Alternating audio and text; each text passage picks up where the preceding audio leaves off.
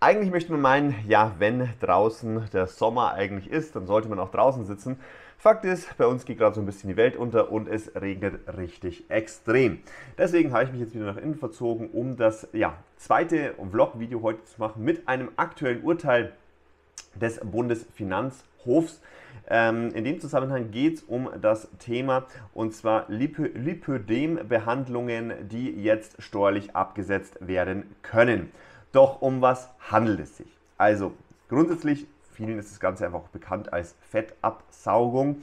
Ähm, ist ein Thema, was zumindest nach meinem Kenntnisstand überwiegend Frauen treffen soll. Und zwar geht es dort um ein Problem, dass die Fettverlagerung bzw. die Fett, äh, ja, sag ich mal, das Fett im Körper nicht gleichmäßig verteilt ist, sondern sich an bestimmten, ähm, sag ich mal, Positionen, Arme oder eben auch Beine ansammelt.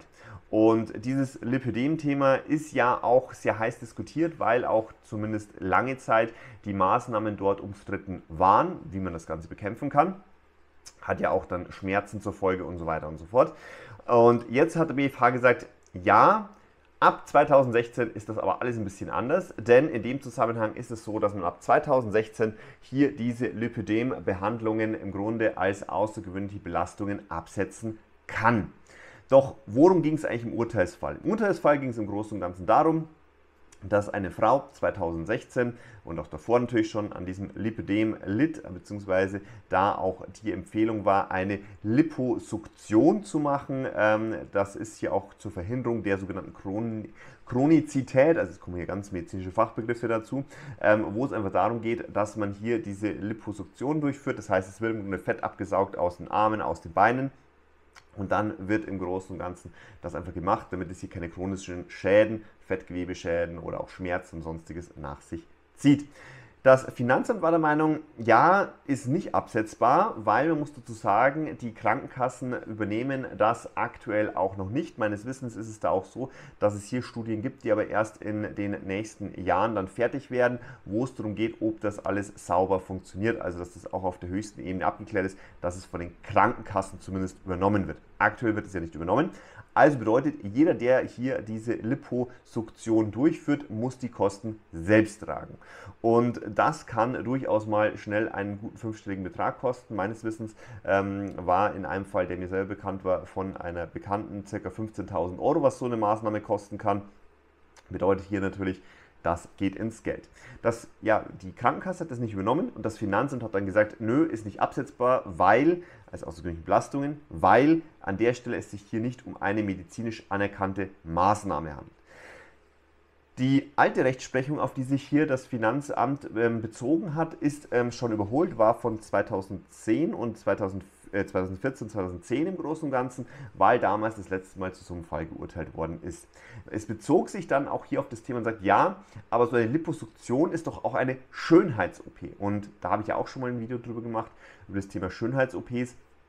Diese sind ja nicht als ausgewöhnliche Belastung absetzbar. Primär ging es hier jetzt aber auch damals um eine Brustvergrößerung, ähm, die auch keine psychologischen Gründe hatte, sondern primär einfach einen Schönheitsaspekt ja, hatte. Bei der Liposuktion handelt es sich, wie gesagt, aber um eine Maßnahme, die an der Stelle einfach ähm, ja, sage ich einmal, auch medizinisch notwendig ist, weil es Schmerzen verursacht und so weiter.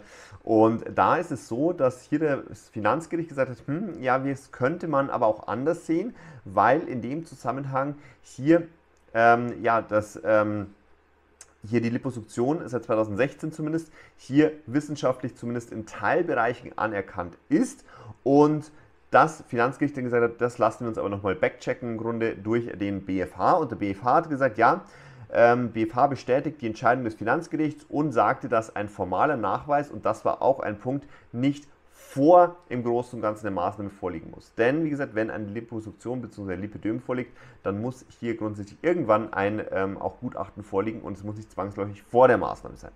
Ähm, damit wird im Grunde die Liposuktion nicht mehr als kosmetischer Eingriff betrachtet, sondern als Maßnahme zur Schmerzlinderung und Vermeidung von Sekundärerkrankungen.